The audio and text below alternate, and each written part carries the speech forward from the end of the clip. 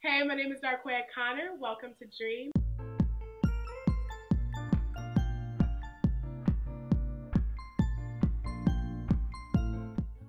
Today I'm going to be talking to you about how I believe in myself.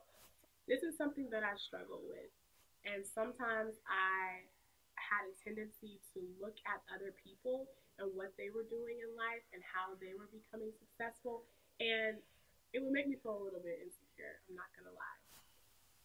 Had to realize that I am enough. I am enough.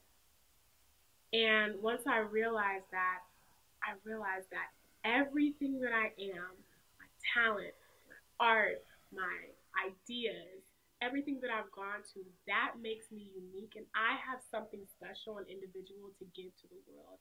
And so once I realized that I am enough, I then had to accept it as a fact. Because if I don't believe in my vision or dreams, no one else will. And I put a lot of work and effort. I got Trisha out here helping me out, but I believe in myself. I know that if I work hard, I can, and I believe in myself, I can achieve all of my dreams. And so the definition of believe is to accept something as the truth. So once I realized that I was enough and I accepted it as the truth, I was able to flourish. And so you are not alone. You better own your stuff. We can own it together. Just remember that you're not alone.